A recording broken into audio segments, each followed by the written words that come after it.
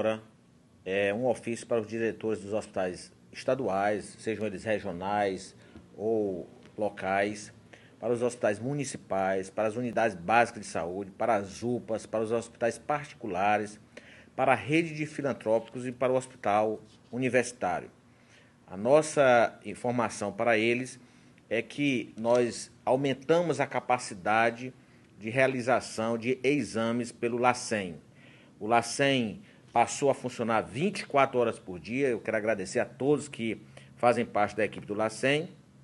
E nós queremos, é, com essa iniciativa, não passarmos mais de 48 horas para estar dando a resposta. Não vamos dar resposta só em 48 horas, mas nosso objetivo é que, independente do número de amostras que possamos receber, esse prazo de resposta do LACEN não será superior a 48 horas dizer que o recebimento das amostras no LACEN vai se dar de 7 horas da manhã até as 0 horas. Então, dessa forma, nós temos o LACEN funcionando 24 horas e é, com esse período também para o recebimento de amostras. É, hoje, ontem, já foi possível ver é, uma dinâmica é, relativa aos dados diferenciada em razão do primeiro dia de operação 24 horas do LACEN.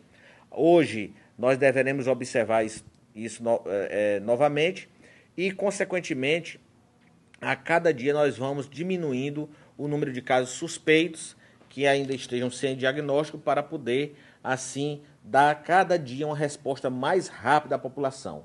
Nós estamos aqui, desde o dia que lançamos o plano de contingência, trabalhando para isso, para dar respostas. E por isso nós fizemos isso no LACEN com o apoio do nosso governador Wellington Dias, que tem apoiado assim a todas as ações e acompanhado as ações da secretaria. É, hoje nós é, é ainda estamos com 847 leitos é, nos hospitais é, públicos e privados disponíveis, leitos de enfermaria, leitos clínicos disponíveis para tratamento da Covid-19, 156 que estão ocupados neste momento. É, leitos de UTI são 148, com 26 ocupados. Então, nós temos 56 leitos clínicos ocupados e 26 leitos de UTI ocupados. É, com 26 salas de estabilização e nenhum desses leitos das salas de estabilizações ocupados.